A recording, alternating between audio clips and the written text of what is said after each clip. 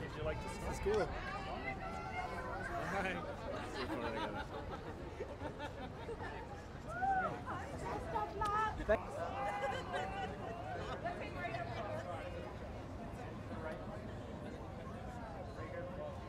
Say hi to Tiff for me.